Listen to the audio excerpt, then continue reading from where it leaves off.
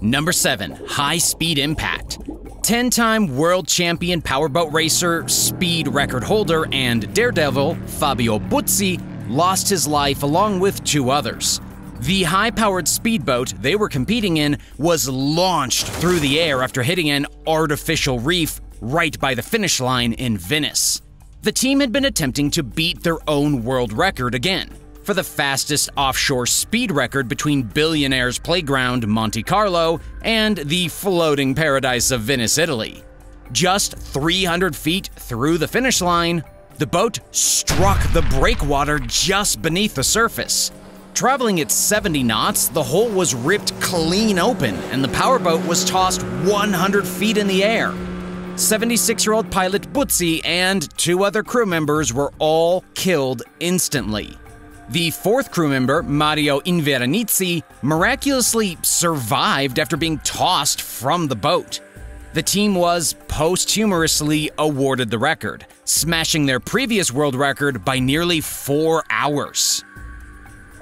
Number 6. Grounding. The Suez Canal in Egypt was blocked for six days when the giant container ship Ever Given ran aground in March of 2021.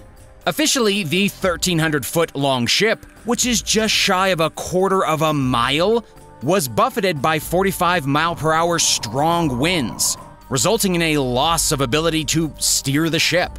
Driving gusts of wind against the side of the loaded cargo ship caused the containers to act like a sail. By the time the sandstorm had settled, bow and stern of the Ever Given were wedged into either bank, causing a complete blockage of the Suez Canal. Despite the crew's lucky escape with no injuries, things would get worse before they got better. The canal itself is responsible for about 12% of annual global trade, and over the subsequent days, some 350 other vessels were blocked from reaching their destinations. These delays halted just shy of 10 billion US dollars worth of trade for each day it was wedged in the narrow canal. Rescuing the ship was a long and slow process, which included removing fuel and ballast from the ship to lighten it, dredging the canal, a very memeable excavator, and many, many tugboats. On March 29th at 1505 local time, satellite images showed the vessel was finally free to move but not yet free to leave. Egyptian authorities seized the Ever Given and proceeded to hold it for over three months. Demanding compensation from the Japanese owners of the ship, at one point, they wanted over $600 million for the salvage operation and for loss of reputation. After reaching an undisclosed settlement, Egyptian authorities released the container ship on July 7th. Number 5. Oil spills. The largest accidental oil spill in history occurred in 2010 in the Gulf of Mexico. The Deepwater Horizon oil platform was a semi submersible floating and mobile drilling rig. Owned by Transocean and being leased for operational use by oil giant BP, it caught fire on April 20th. The oil well was located about 5,000 feet below the surface and extended nearly three and a half miles deep into the seabed. A sudden and uncontrolled surge of methane blew through the recently installed cement well cap, which had been put in place to seal the well for later use. The natural gas ignited as it traveled up the platform's riser, and at about 7:45 p.m. local time, a fiery explosion engulfed the platform, and 11 workers were never heard from again. Thick black smoke plumed into the sky as the fire continued to burn being fueled by the natural gas as well as the crude oil that was now spewing out of the ruptured wellhead. The platform continued to burn uncontrollably for the next two days before the structure gave out, capsizing and subsequently sinking into the ocean. All while still leaking over 60,000 barrels of oil per day from the damaged well into the Gulf of Mexico. Even though the platform had sunk two months earlier, it took 83 days for the petroleum leak to be temporarily stopped and a further three weeks for a permanent solution to be completed. By August 3rd, an estimated 4.9 million barrels, or 205 million gallons, of oil had been dumped into the water. BP was subsequently fined $65 billion. Number 4. Dredging accidents. One Vietnamese operator made a very lucky escape when the crane he was using buckled under the weight of the load that he had tried to pull from a river below. The crane was operating on a barge on the Co Chien River south of Ho Chi Minh City in Vietnam in April of 2020. Video footage captures the dramatic moment when the crane suddenly snaps from underneath the cab and topples into the murky waters below. The barge rocks as two of the workers can be seen fleeing as the entirety of the crane vanishes in seconds. Fortunately, the quick thinking driver hopped out of the other side of the cab. No one was reported injured, but the three men were left very confused as to what to do next.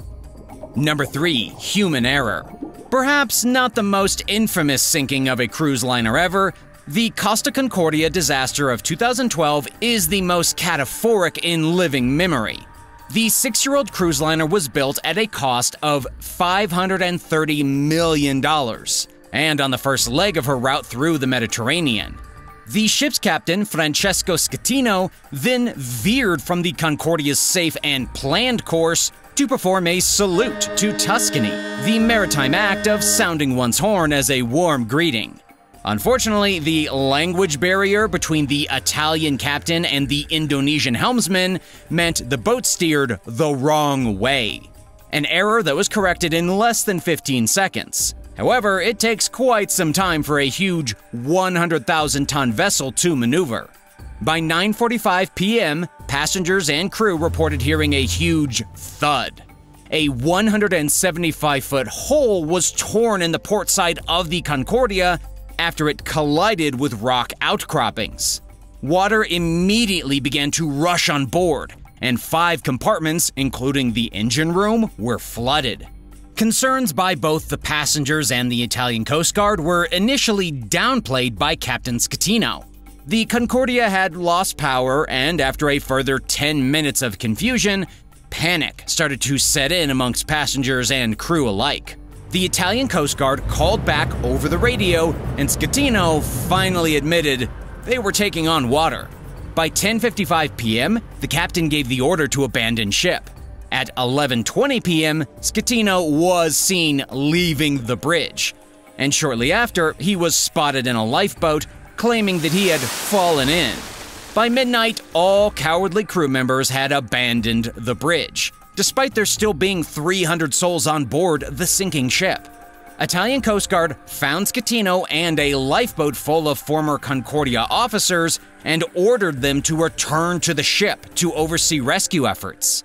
They refused. When dawn broke, 4,194 people had been rescued from the now toppled ship. The rescue operation had enlisted 25 patrol boats, 14 merchant vessels, and numerous helicopters. 32 people perished on that night, with the last body not being recovered until November of 2014. Schettino was convicted on multiple charges, including manslaughter. He was sentenced to 16 years in prison. Number 2. Deep Sea Submersible the Johnson Sea Link submersible was the second scientific research vessel designed by pioneer Edwin Albert Link out of Florida in the early 1970s. Designed and built with two separate compartments, this latest feat of engineering allowed for lockout diving, meaning that the crew could enter and exit the submersible at depths of up to nearly 500 feet. In June of 1973, a crew of four, including Edwin Link's son, Clayton, set out on the sub's 130th dive for what appeared to be quite a routine mission. Tasked with a salvage recovery, the crew descended down to the USS Fred T. Berry off the coast of Key West, reaching a depth of over 360 feet with no concerns. Shortly after the salvage operation began, so did the rescue mission. The Sea Link had become stuck in the wreckage of the warship and was unable to free itself. The vessel and crew of four remained trapped at depth for over 24 hours, while support teams at the surface and the US Navy organized and unsuccessfully attempted multiple rescue operations. The original dive plan did not account for the crew leaving the vehicle, So, when lockout dives were discussed, it was deemed too dangerous for the two men in the diver's compartment for fear of oxygen toxicity, not to mention the cold.